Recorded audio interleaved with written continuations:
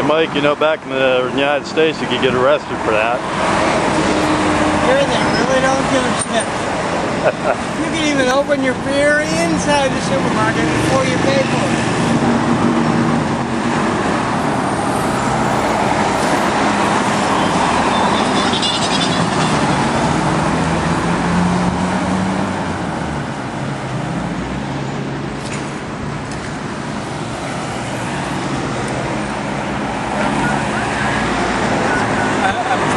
Ha ha ha.